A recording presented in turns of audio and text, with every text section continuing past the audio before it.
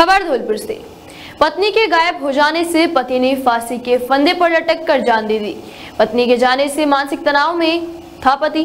Police ने जाँच शुरू कर दी है। धौलपुर ज़िले में एक युवक ने पत्नी के गायब हो जाने पर अपनी जीवन लीला समाप्त कर ली। पत्नी हफ़्ते से पह, हफ़्ते भी पहले घर से लापता हो गई थी।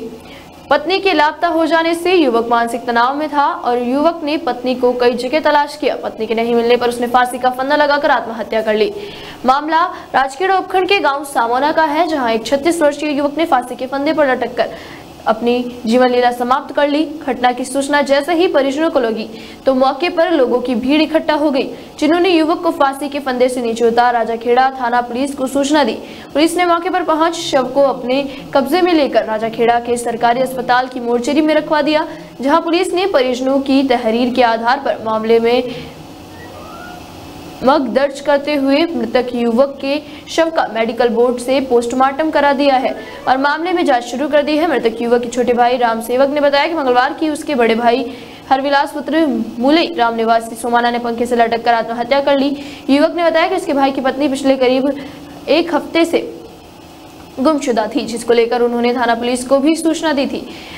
परिजनों को अंदेशा है कि मृतक ने मानसिक तनाव में आत्महत्या जैसा कदम उठाया फ़िलहाल पुलिस ने मृतक युवक के पिता भाई पिता भुलई राम की तहरीर के आधार पर मामले में मर्ग दर्ज करते हुए अनुसंधान जारी किया है। पेश की कि मेरे लड़का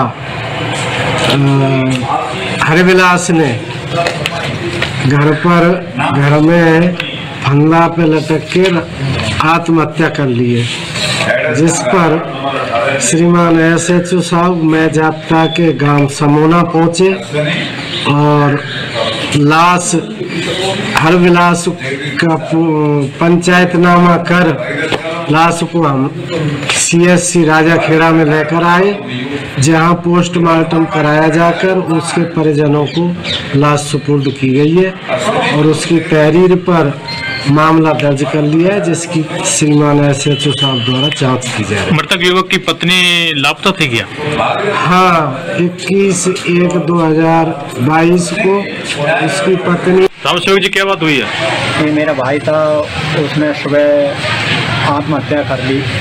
उसकी पत्नी 20 तारीख से 21 तारीख से गुम थी। उसने एफ़ आई आर थाने में गुमशुदा की डाल रखी हुई है। भाई का क्या नाम है? भाई का नाम हरविलास और पिताजी का नाम? पिताजी नाम बुलाई रहा हूँ। उसकी पत्नी का नाम सावित्री